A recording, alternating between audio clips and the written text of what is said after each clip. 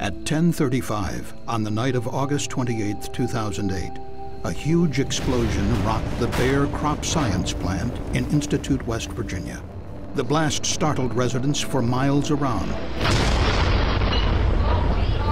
including those in nearby Charleston, the state's largest city.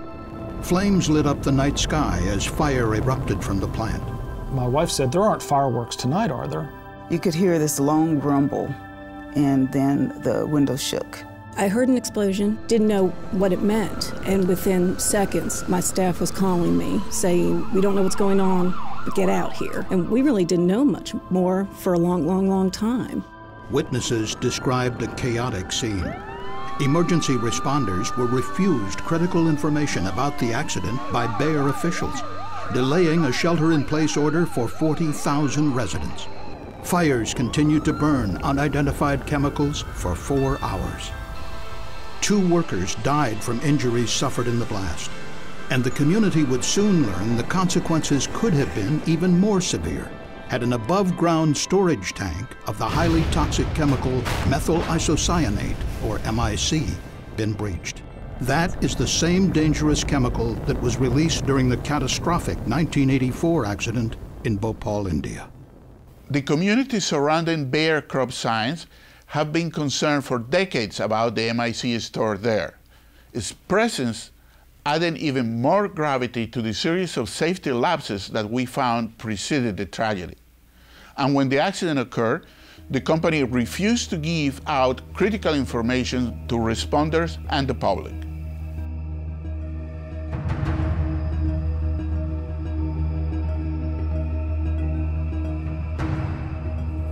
The Bayer Crop Science Plant is a large chemical complex of more than 400 acres on the Kanawha River near Charleston. It is located in a populated area next to West Virginia State University. Bayer operated a number of manufacturing units using highly toxic chemicals, including MIC, to produce carbamate pesticides and other products. One unit located adjacent to a 6,700 gallon capacity storage tank of MIC used a series of chemical reactions to synthesize the pesticides methomyl and larvin. During the summer of 2008, the methomyl larvin unit was shut down for several months of scheduled maintenance, a major control system upgrade, and replacement of a 25 year old pressure vessel called the residue treater. Inside this vessel, residual methomyl was decomposed at a high temperature. The waste solvent then used as fuel elsewhere in the plant. This process released heat and needed to be carefully controlled to prevent a runaway reaction. Bayer was eager to bring the unit back online to meet increased demand for larvin, with workers putting in extended hours to get the job done. A decision was made to restart the unit, but this was premature workers faced numerous equipment problems. The new computer control system had not been fully calibrated and was not ready for use. This made the startup particularly risky. Five days into the startup of the unit, the residue treater was brought online. For safety reasons, the vessel needed to be pre-filled with clean solvent and heated to prevent a dangerous accumulation of reactive methomyl during startup. A safety interlock would prevent methomyl residue from being fed to the vessel if the temperature was too low. But some operators believed the heater could not reach the required temperature to open the valve. Contrary to operating procedure, and with manager's knowledge, operators used a password to bypass the safety interlock. This routine workaround increased the likelihood of a runaway reaction. Other equipment problems diverted the operator's attention, and on the day of the accident, they mistakenly did not pre-fill the vessel with solvent.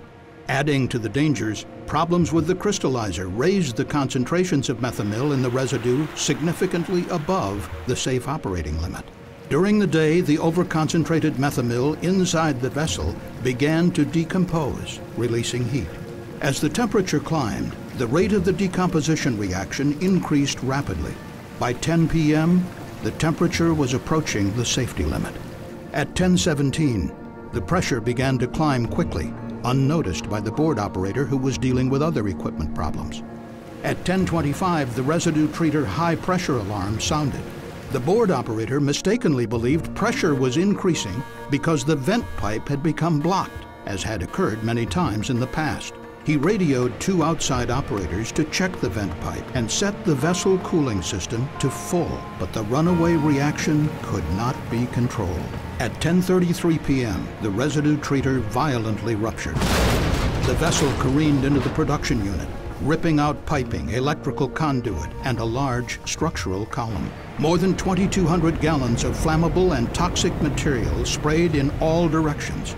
A massive fire erupted. Other debris struck a protective steel mesh surrounding the storage tank, which contained 13,700 pounds of methyl isocyanate. The two workers who had been checking the vessel's vent pipe were fatally injured. The Bayer in-house fire brigade responded immediately. They doused the MIC tank shield structure with water to protect it from the heat, but the fires burned for more than four hours.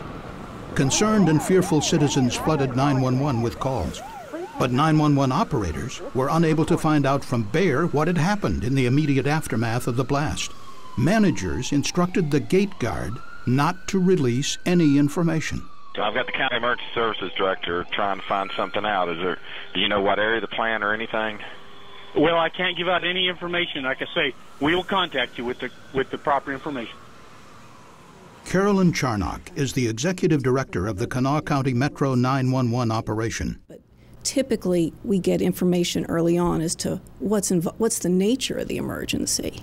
We didn't even have whether this was a person hurt, an explosion. All we had for too long was just we have an emergency at the plant and to alert the public. Joe Crawford is the police chief in nearby St. Albans, directly across the river from the Bayer facility. Uh, we were just uh, hampered and kind of held back because we wasn't getting uh, probably critical information or valuable information we needed from within inside the plant. After an hour of unsuccessful attempts to communicate directly with the Bayer incident commander and find out what chemicals were being released, authorities eventually instructed some 40,000 residents in a 10-mile radius to shelter in place as a precaution. Kent Carper is the president of the Kanawha County Commission. Had we known then what we know now, we would have at the very least ordered a preliminary effort to begin uh, evacuation. We would have at the very least ordered a uh, shelter in place with specific information. And actually, the list goes on and on. What I think we would have done differently had we been given uh, better information. Bayer reported that no toxic chemicals were released because they were consumed in the intense fires. But the CSB later determined that the only air monitors near the methomyl unit to detect toxic chemicals were not operational at the time of the accident. The morning after the explosion, eight individuals, including six firefighters, reported symptoms of possible toxic chemical exposure. Proper communications between companies and emergency responders during an accident is critical. This is especially true at a facility like the Bayer plant, which stores large amounts of highly toxic chemicals.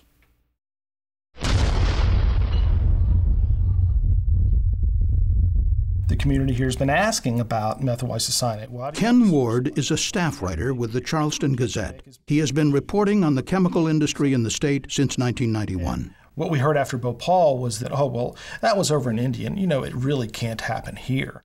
Pam Nixon is the environmental advocate with the West Virginia Department of Environmental Protection and a longtime resident of West Dunbar, a town neighboring Institute and the Bayer plant. There are a lot of lives that could be impacted from a major incident down there. And uh, when the community complains, the company downplays what the community says. And so they just feel as if uh, they're not being heard. Every couple months you hear about a leak here or a release there or a spill there. You know, nothing, everybody always says it's nothing big, there was no impact to the community is the, the standard line from the plants. But people who have lived here and know about Bhopal and know about MIC always have in the back of their minds this fear and this worry that well, could it happen here? During an April 2009 congressional hearing on the Bayer accident, then CSB Chairman John Breslin noted that the explosion, serious enough as it was, could have been worse had the MIC tank been damaged. It was that that very government affirmation of what everybody knew in the back of their minds that's forced a reform of what's going on here. In 2009, Bayer Crop Science announced that it would reduce the maximum inventory of MIC at the Institute site by 80%. And in January 2011, Bayer announced that it would stop producing, storing, and using the highly toxic chemical altogether. But there are many chemical facilities in the Kanawha Valley that handle large quantities of other highly toxic hazardous materials.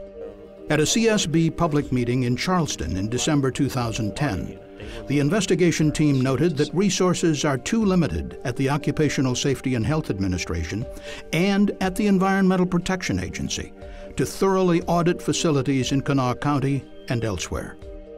The CSB recommended that Kanawha County set up a program to do its own safety oversight of the plants. A model for this type of local program exists in Contra Costa County, California, a San Francisco Bay suburb that is home to many oil refineries and chemical plants. Randy Sawyer is the director of the Contra Costa program. Back in the 90s, there was a number of accidents that occurred in Contra Costa County. And the community and our Board of Supervisors were very concerned about this, and uh, they wanted more safety oversight of the facilities. They wanted to make sure the facilities were operating as safely as they could. As a result, since 1999, the Contra Costa County Health Services Department has had the authority to oversee the safety of refining and chemical facilities. Highly qualified county experts conduct audits and inspections. The plants must submit and adhere to comprehensive safety plans. The program is self-financed through fees paid by the facilities. Contra Costa's program has drastically reduced the number of plant accidents that occur in the county. I believe it is a model that can be implemented in other places in the United States. Uh, it's been successful, it's been highly effective, and it, it has, has good results.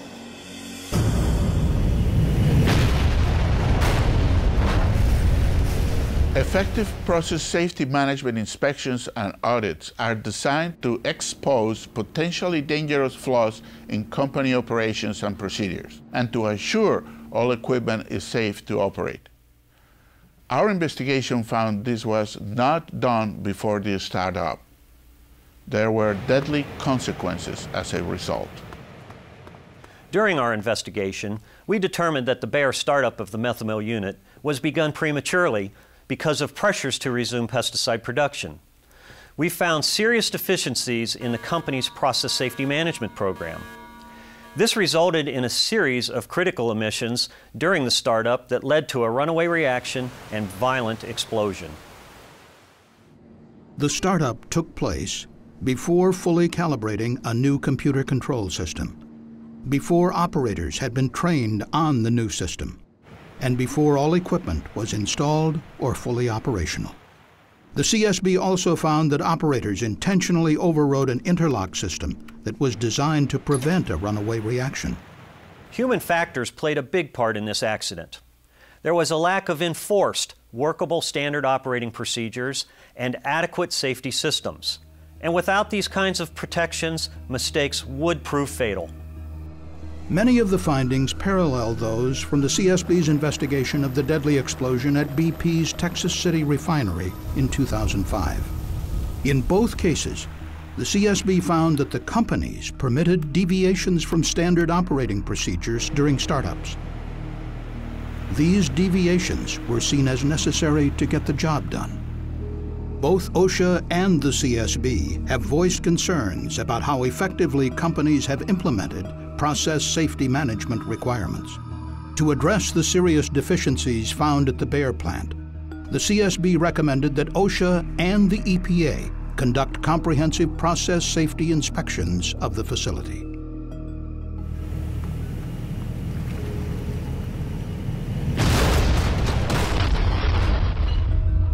Good communications between chemical plants, responders, and community leaders can help assure the safety of workers and residents during an emergency. But preventing accidents requires companies to have effective process safety management programs.